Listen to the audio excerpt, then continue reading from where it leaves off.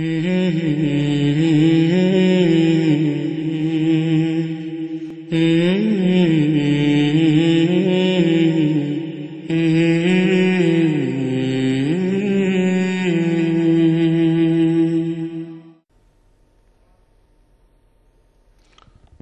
عليكم ورحمة الله وبركاته.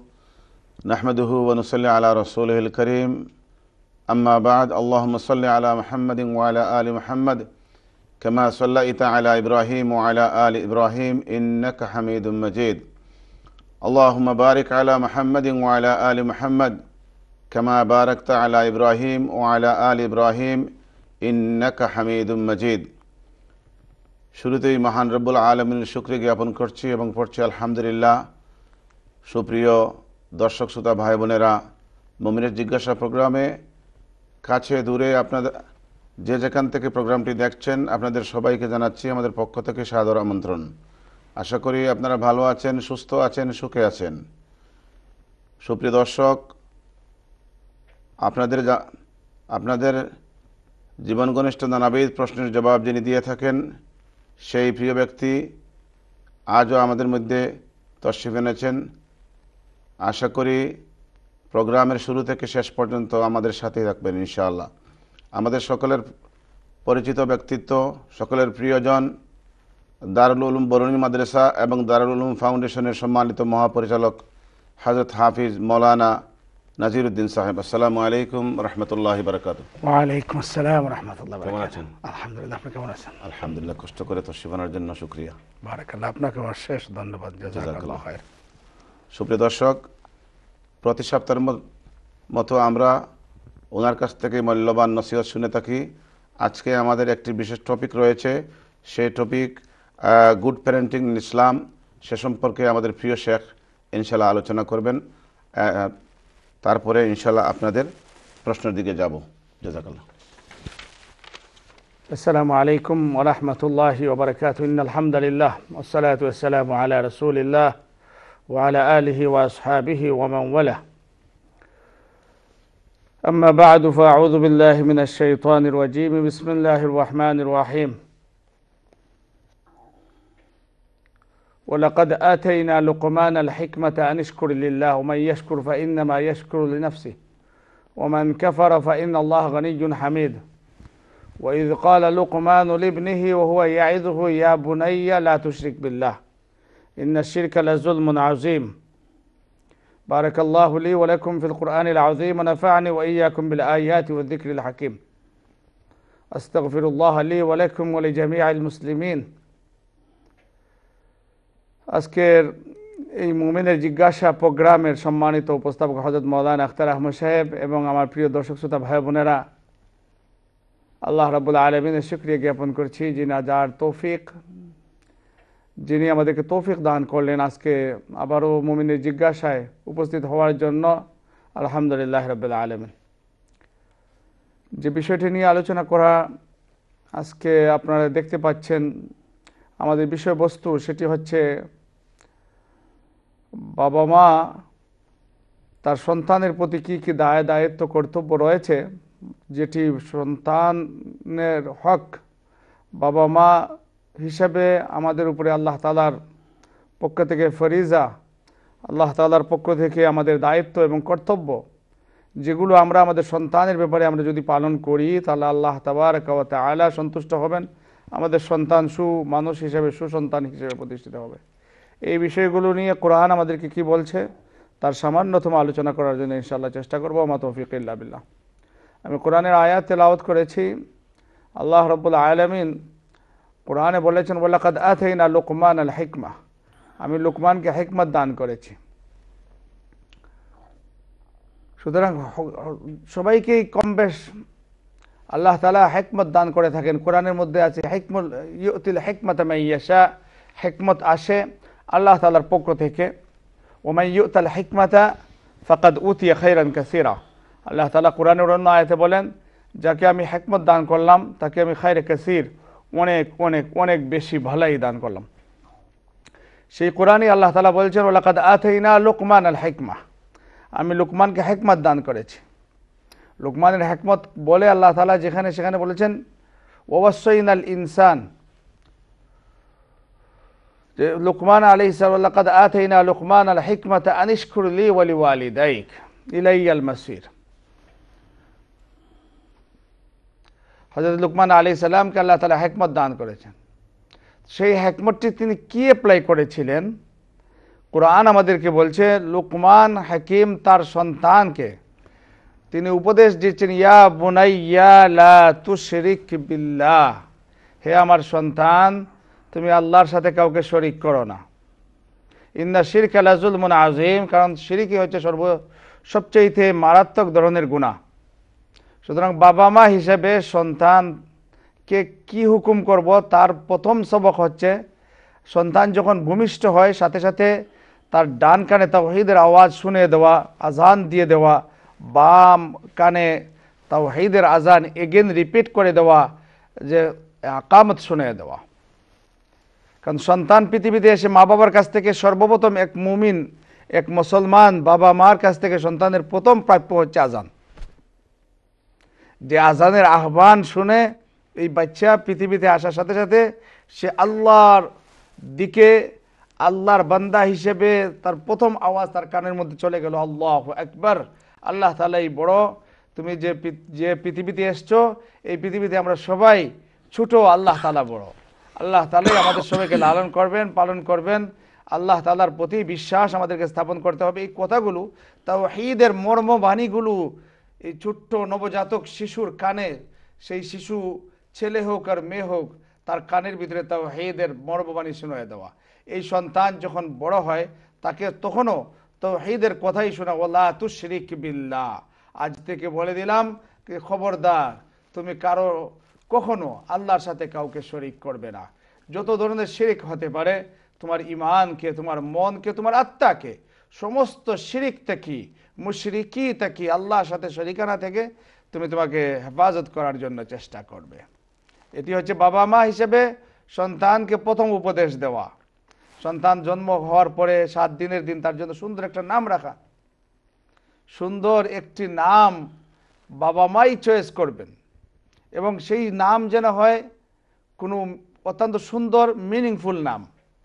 সেই নাম যেন হয় কোনো নেক বন্দার সাথে পরামর্শ করে, কোনো ওলামার সাথে পরামর্শ করে।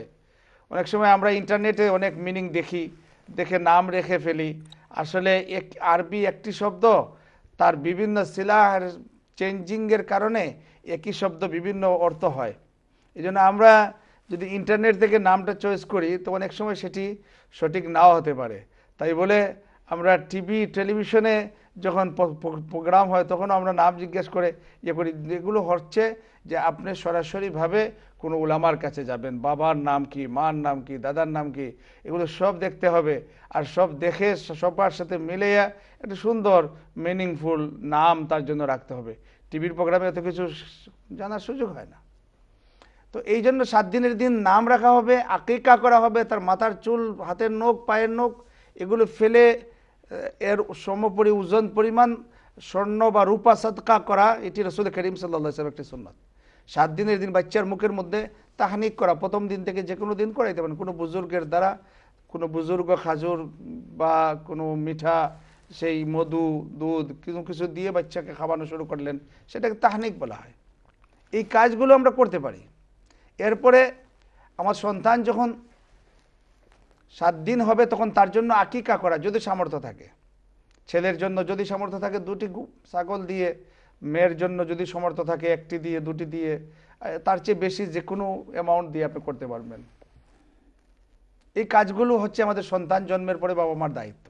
এরপরেই হচ্ছে যখন সন্তান কথা বলতে শিখে, সামান্য মুখ লড়ায় তখন আব্বু আব্বু আমরা বলি, তখন বলা উচিত, আল্লাহ, তাকে কি শিখান? প্রথম কথাটা তার মুখের দিয়ে যেন বের হয়, আল্লাহ। যখন আ বলতে শিখে, তা আল্লাহ শিখে আওয়াজ তার কাছে চলে যায়। বাচ্চারা পৃথিবীতে এসে সর্বপ্রথম বেশিরভাগ বাচ্চাদের শোনা যায়, তো তারা প্রথম মা বলে বা আম্মা বলে, বাবা বলে বা বাপ বলে। কিন্তু এই বাবা মারই দায়িত্ব হচ্ছে তারা এই বাচ্চার মুখ দিয়ে আল্লাহ বের করার জন্য চেষ্টা করবেন। আর যখন বাচ্চা পড়তে শিখে তখন তাকে কোরআনের, আল্লাহ তাবার তালার শিক্ষা আমরা দেওয়ার জন্য চেষ্টা করব। কোরআনের ভিতরে ইকরা বিসমি রাব্বিকাল্লাযী খালাক, খালাকাল ইনসানা মিন আলাক, ইকরা ওয়া রাব্বুকাল আকরাম আল্লাযী আল্লামা বিল কালাম। যখন প্রথম ওহী নাজিল হয়েছিল, আল্লাহ রসুল সাল্লামকে বারবার বলা হয়েছিল, ইকরা, ইয়া মোহাম্মদ, ইকরা, ইয়া মোহাম্মদ, ইকরা, ইয়া মোহাম্মদ।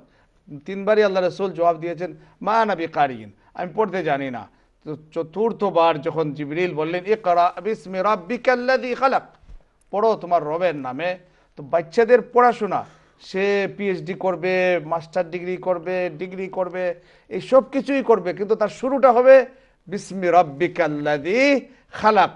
ওই আল্লাহর নামে যিনি আমাকে, তাকে সমস্ত বিশ্বকে সৃষ্টি করেছেন।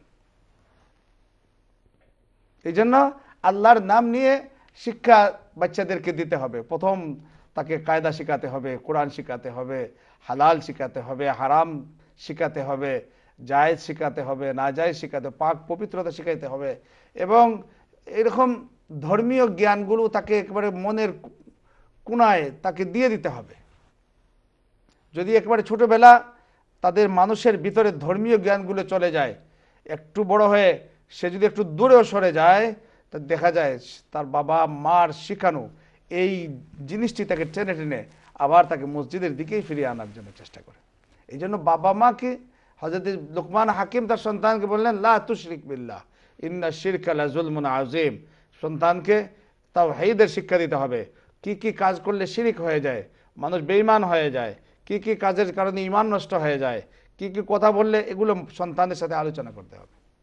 এটি বাবা মার কাজ। এরপরে বাবা মাকে, বাবা মা সন্তানকে হজরতে ওমর রদি আল্লাহ আনহু, তিনি কত সুন্দর কথা বলেছেন। তিনি বলেছেন লাইব ইবনাকা সাবা সাত বছর পর্যন্ত বাবা হিসেবে সন্তানকে তুমি খেলাধুলা করো। মা বাবা তার সন্তানের সাথে সাত বছর পর্যন্ত খেলার সাথী হিসেবে থাকবে। লাইব ইবনাকা সাবা। এরপরে সাত বছর উনি বলেছেন ও আদিবু হুম সাবা আর পরে সাত বছর তাকে আদব শিক্ষা দাও আদব। তার যা কিছুই করুক, প্রত্যেক কাজে যেন সে তার মেনটেন নেহাজ ইসলাম, ইসলামিক স্টাইল ইসলামিক ভাবধারা ভাব গম্ভীর্য যেন তার মধ্যে চলে আসে। লাইব ইবনাকা সাবা ওয়া আদিবুহুম সাবা ওয়া সাহিবুহুম সাবা তাকে আদব শিখাও, দিন শিখাও, ইসলাম শিখাও সাত বছর। ও সাহিবুহুম সাবা বাবা মা। সন্তানের সাথে ফ্রেন্ড হিসেবে থাকো বাকি সাত বছর।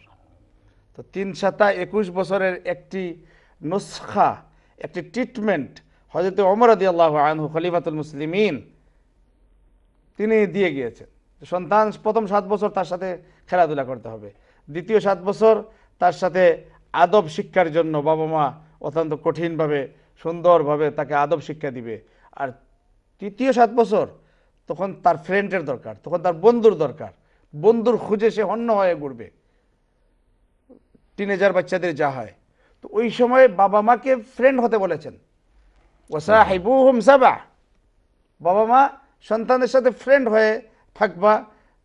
সন্তানের সাথে এইরকম ব্যবহার করতে হবে যেমন ফ্রেন্ড করে। ফ্রেন্ড এক ফ্রেন্ড ফ্রেন্ডকে এক বন্ধু, আরেক বন্ধুকে যেভাবে ইয়ে করে, বাবা মাকে সবচেয়ে পরম বন্ধু এটি সন্তানকে বুঝাতে হবে। আজকে বাবা মা হিসেবে আমরা আমাদের সন্তানদেরকে আমরা যে তাদের পরম বন্ধু, এই কথাটি যখন বোঝাতে আমরা ব্যর্থ হই, তখনই আমাদের সন্তানরা তাদের বন্ধুদেরকেই বাবা মার চাইতে আরও বেশি প্রিয়জন মনে করে বাবা মার কথা উল- উল্টিয়ে, বাবা মাকে কষ্ট দিয়ে ঘর থেকে বের হয়ে গিয়ে বন্ধুর সাথে সাথে ঘুরতে থাকে। তার কষ্টার্জিত সম্পদ বন্ধুর পিছনে খরচ করতে থাকে। বন্ধুকে, বন্ধুর বিরহে সে পেরেশান হয়ে যায়। বন্ধুকে না দেখলে তার মন মলিন হয়ে যায়। অথচ বাবা মাকে অনেকে ইয়ে করে। এখানে হজরত উমর রাদিয়াল্লাহু আনহু কি কথা বলেছেন? ওয়াসাহিবুহুম সাবা সাত বছর, অর্থাৎ চোদ্দ বছর থেকে নিয়ে একুশ বছর বয়স পর্যন্ত একটি বাচ্চার সাথে ছেলে হোক আর মেয়ে হোক, তার বাবা এবং মায়ের সম্পর্ক হবে বন্ধুর সম্পর্কের মতো। সে যেন তার বাবা এবং মাকে তার যেহেতু সে মাত্র মেচুরিটির দিকে গিয়েছে, এই মুহূর্তে তাকে সার্বিকভাবে তাকে সহযোগিতা করতে হবে বন্ধুর মতো পাশে থেকে থেকে। কিন্তু আমরা এই সময় করি কি একটু বড় হয়ে গেছে মেয়ে আমরা মেয়েকে কাছে বসতে দিই না মেয়ে তার আলাদা কম্পিউটার নিয়ে বসে আছে বাবা মা টিভি নিয়ে ইয়েতে বসে আছেন। হ্যাঁ অনেক বাবা মা এরকমও মনে করেন যে আমরা যখন টিভি দেখি বা ইয়েতে আসি আমার মেয়ে আমার ছেলে আমার কাছেই আসে না। এটা ঠিক না। বলকে বাবা মা মেয়ে ছেলে এরা গায়ের সাথে গা লেগে বসবে বন্ধুর মতো বসবে। ক্লোজলি ক্লোজলি বসবে। বাবার সাথে ছেলে তার গা গা লাগিয়ে বসবে। মার সাথে মেয়ে তার গা লাগিয়ে বসবে। এইভাবে আমরা যদি সুন্দর প্যারেন্টিং করতে পারি তাহলে আশা করা যায় আমাদের সন্তানগুলো আমাদের সন্তান বিশেষ করে এই ওয়েস্টার্ন কান্ট্রিতে যেখানে আমরা আছি এখানে আমাদের সন্তানকে স্পেশালি শুধুমাত্র এনভায়রনমেন্ট আমার ঘরের মধ্যে আমি ক্রিয়েট করতে হবে আর সেখানেই আমাকে দিন শেখাতে হবে। আল্লাহ তালা আমাদের সবাইকে তফিক দান জাজাকাল্লাহ শুনছিলাম আপনার কাছে মূল্যবান আলোচনা। ব্রেক থেকে ফিরে এসে খাইর।